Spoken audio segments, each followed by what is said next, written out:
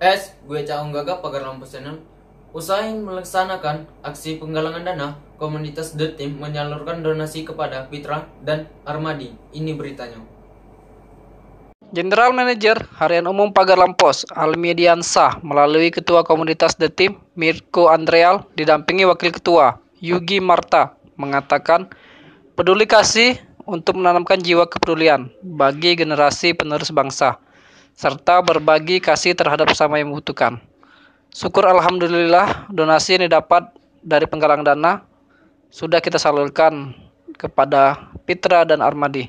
Harapan kita ke depan, semoga anak-anak muda di Pegadaian bisa lebih dekat dan mengenal apa itu jiwa sosial. Harapnya, Madon Coga, Pagala Post Channel.